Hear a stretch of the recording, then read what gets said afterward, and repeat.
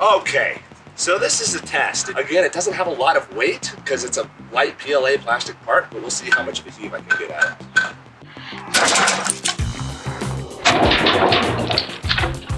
Nothing.